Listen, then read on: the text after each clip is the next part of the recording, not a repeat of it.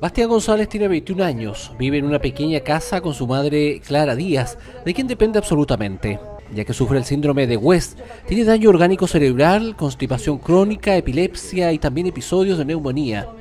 Ellos requieren con urgencia construir un dormitorio con características especiales para el bienestar del joven.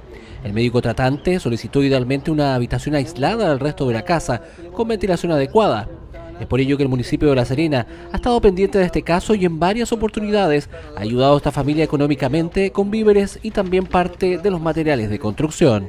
Está postrado porque tiene el mal de hueso y la verdad es que estamos tratando de, que su vida sea un poquito más confortable y estamos haciéndole una pieza especial para él eh, con un maestro al cual se le, entregamos nosotros herramientas para que pudiera trabajar y él está trabajando aquí en forma gratuita, ayudando a, tal como lo ayudaron a él, ayudando también a sus vecinos. Yo creo que eso es tremendamente importante y solidario.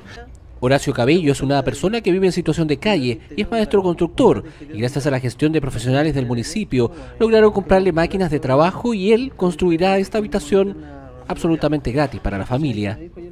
Esto es especial porque es incómodo que la señora esté durmiendo en un colchón abajo de la cama de Bastián.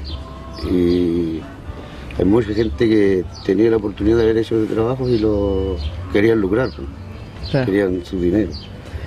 Y, también para que vean que la gente que está en la calle no tiene, que tiene corazón necesitamos la pieza porque la cocina queda al lado del comedor, entonces todo lo que le aspira, todos los, vapores, eso le hacen dar neumonía a repetición.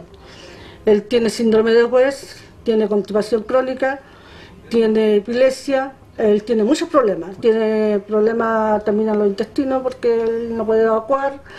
Bueno, la pieza se necesita porque eh, yo estoy durmiendo en el suelo, en un sillón cama.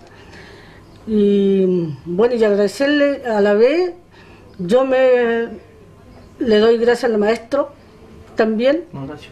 Claro, a don Horacio, porque él es una persona que tiene un corazón súper grande, un ser humano muy eh, dentro.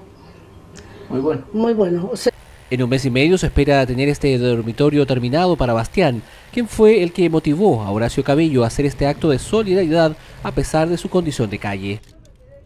Es importante señalar que esta acción social le ha permitido a Horacio volver a creer en su trabajo y ha sido un empuje para superar la situación en la cual vive.